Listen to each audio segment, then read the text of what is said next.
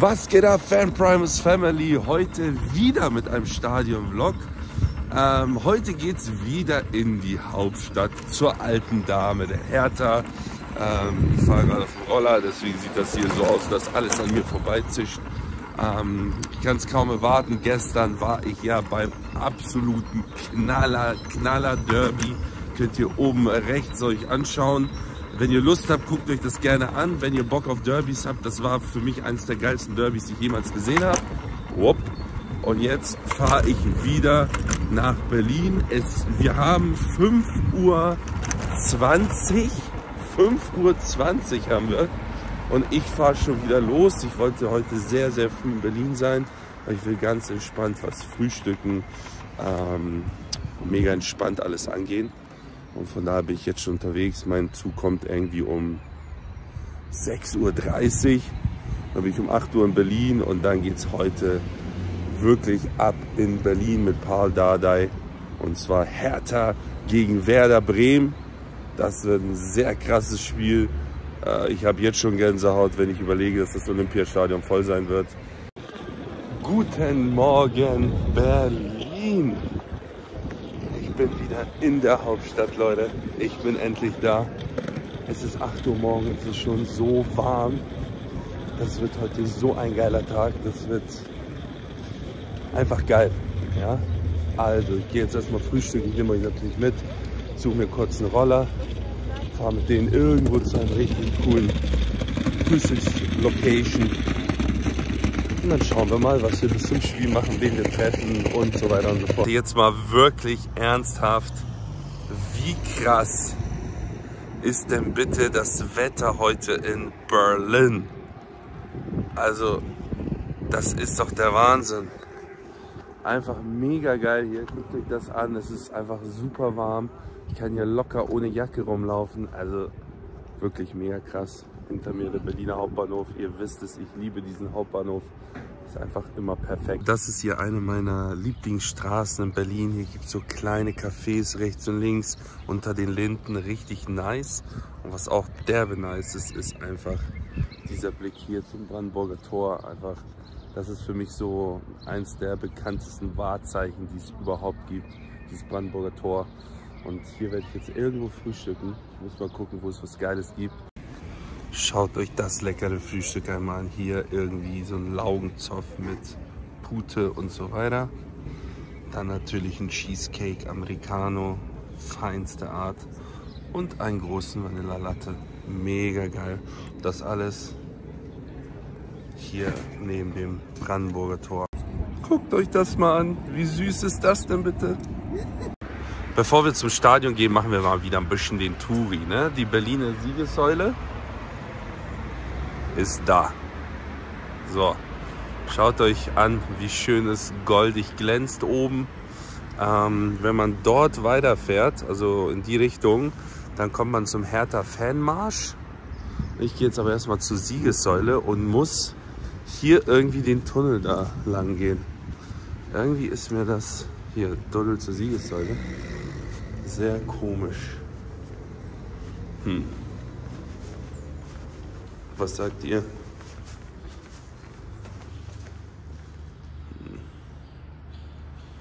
Ja oder nein? Okay, alles entspannt. Der Tunnel ist mega beleuchtet. Easy. Oh, das muss ich euch zeigen. Das sieht geil aus. Guckt mal hier. Treppen hoch. Und wir sind da. So, wir gehen jetzt einmal auf die Siegessäule oben drauf. So sieht das hier aus, so ein kleines Museum. Ähm, sehr schön gemacht. Hier mit dem Reichstaggebäude, hier mit dem Brandenburger Tor. So, schaut euch das mal an. Fall aus der Puste. ist alles so eng hier. Wahnsinn. Das geht bis nach oben.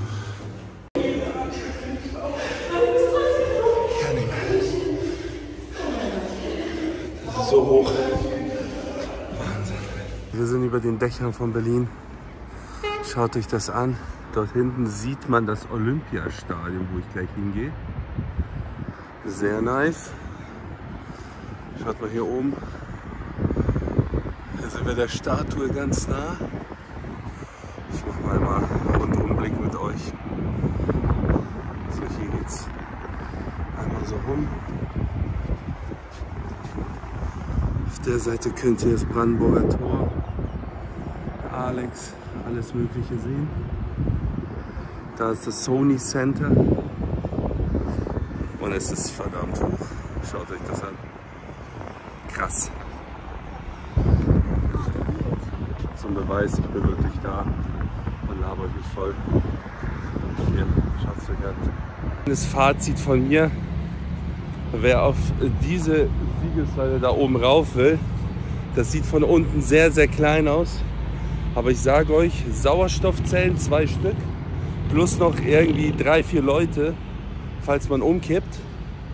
Das ist der Wahnsinn. Ich bin klitschnass. Ich bin klitschnass. Ich war einmal kurz oben. Das nimmt kein Ende. Aber es war sehr schön.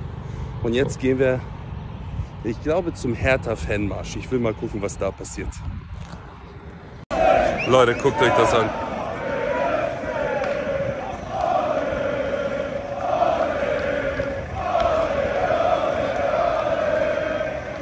Das geht so ab hier, Wahnsinn. Wahnsinn. Guckt euch das einfach an. Das ist einfach krass. Einfach krass, was hier abgeht mit den Fans.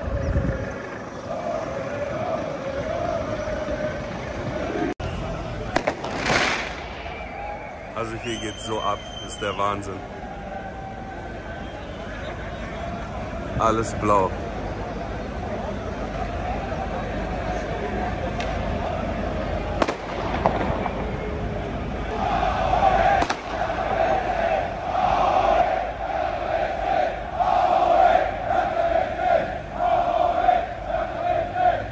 Ich bin hier voll im Smog.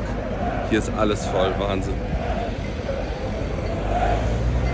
crazy. Wenn ich hüpfte ist, hey, hey, wenn ich hey, hey.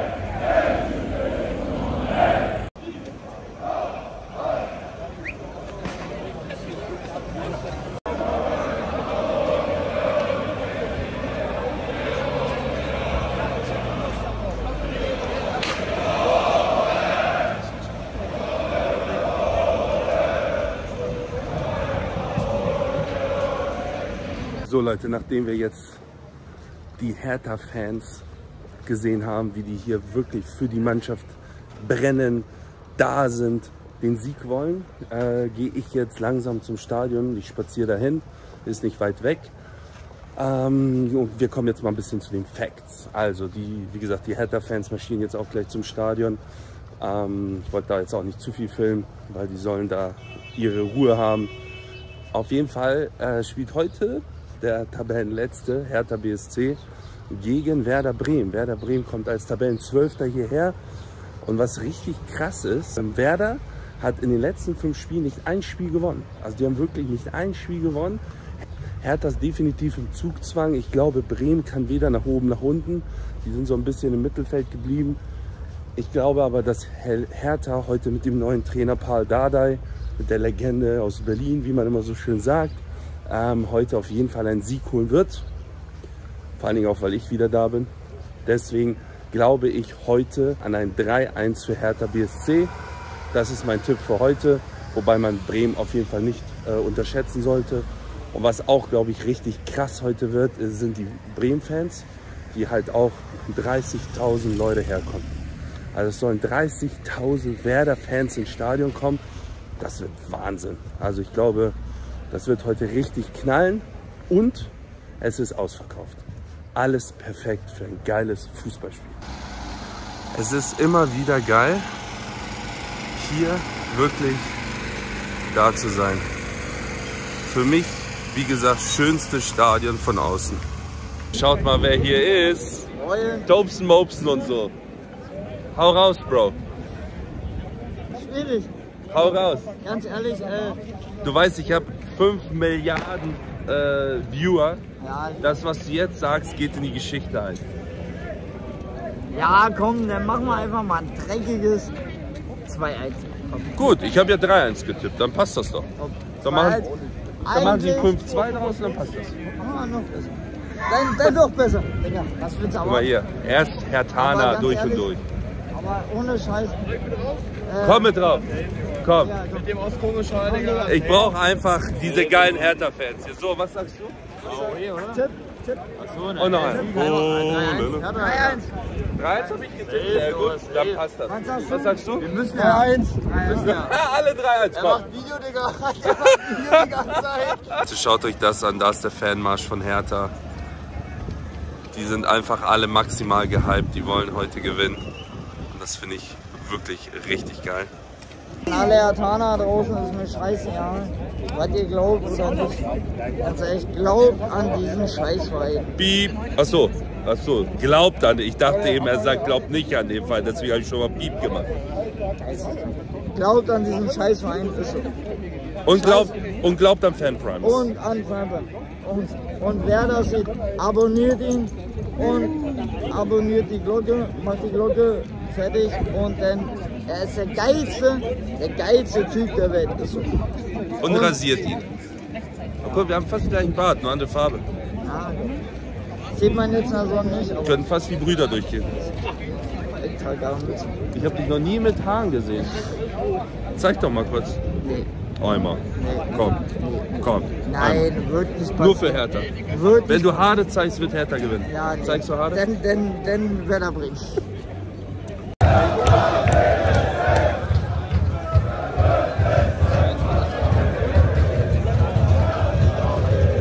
ohne Probleme reingekommen, sehr gut.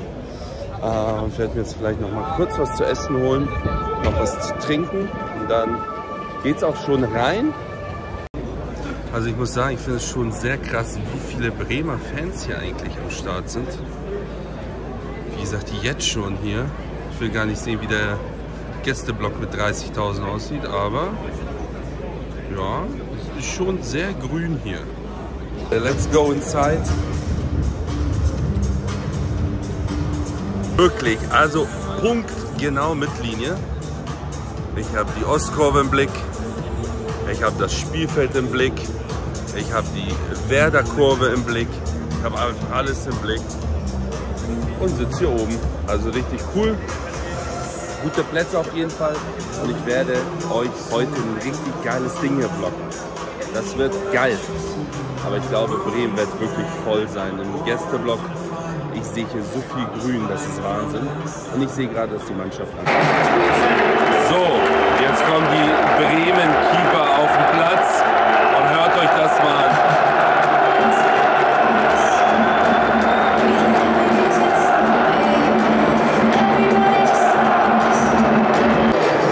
So, die Ostkurve ist leider immer noch leer. Ich glaube, die werden wirklich bis 15 Minuten vor Ende warten, bis sie reinkommen. Sehr, sehr schade, dass es gerade ein bisschen Krach gibt zwischen Fans und Mannschaft. Auf der anderen Seite dafür ein krass voller Werder-Block. Und die Mannschaft kommt auf den Platz.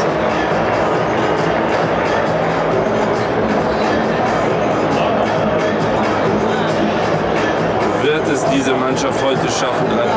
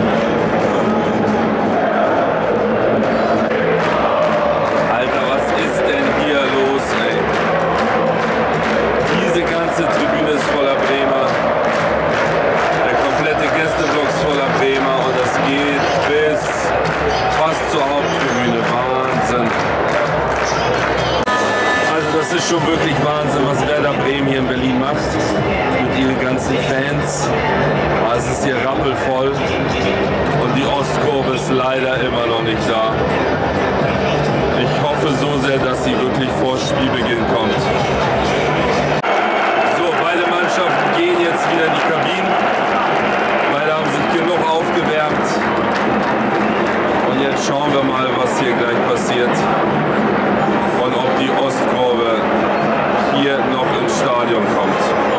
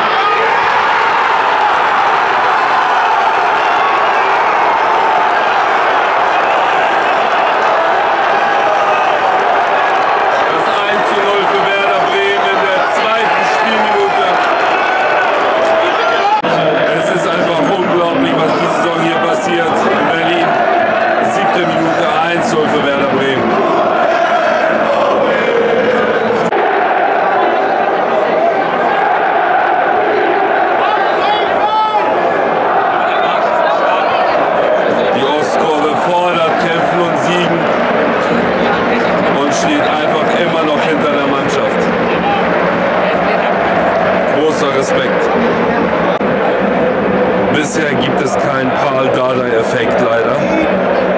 Der Trainerwechsel hat bisher gar nichts gebracht. Die Mannschaft spielt einfach immer noch leider wie eine Zweitligamannschaft.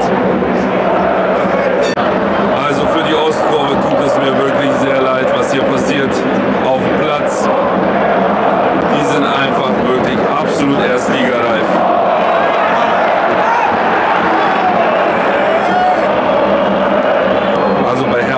Passt einfach hinten und vorne gar nichts. Das ist so schade.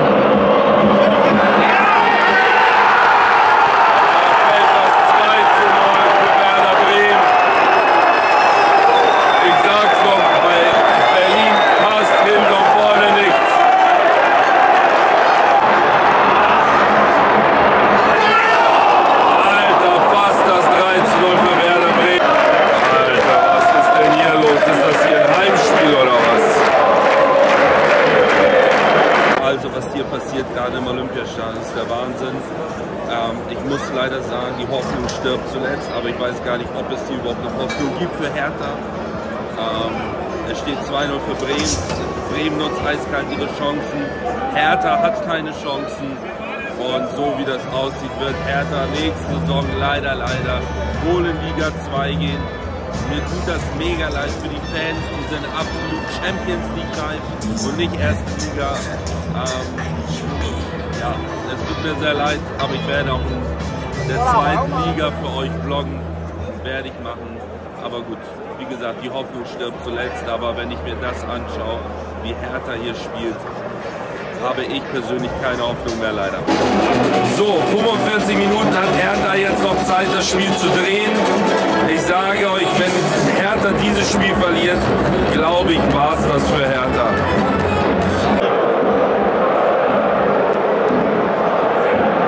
Das ist immer wieder schön zu sehen.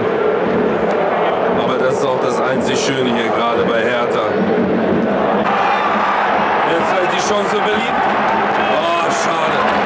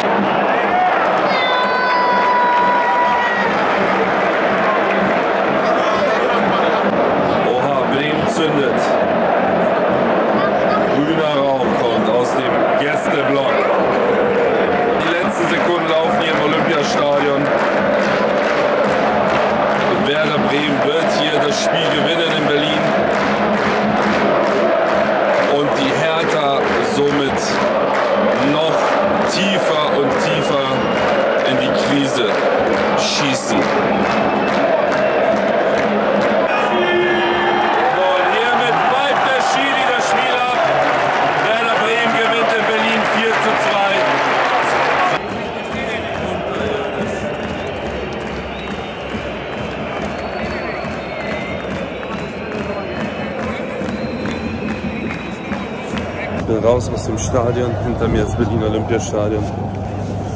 Schwierige Zeit hier in Berlin. Ähm, keine Ahnung, wie es hier weitergeht. Aber diese Niederlage war nicht verdient, aber weil Bremen auch einfach nicht gut war. Aber Bremen hat deren Chancen genutzt und hat das Ding gewonnen. So einfach ist Fußball. Mir tut es mega leid für die Hertha-Fans. Sind absolut erstligareif.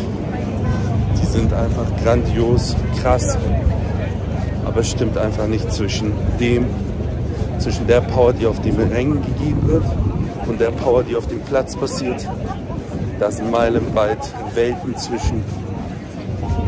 Ja, was soll ich sagen? Wir sehen uns beim nächsten Stadion-Vlog.